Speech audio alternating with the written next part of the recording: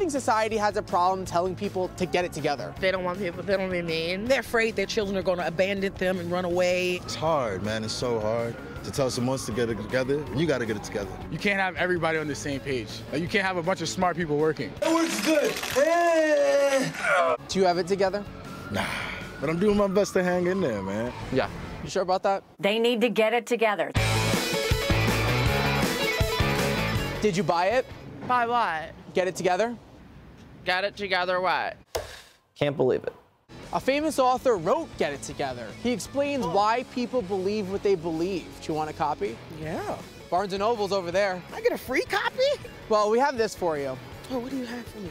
That's Get It Together. Jesse, I got it together. Hey, Jesse, a handsome man. You like the dude from Ross, man. We get it.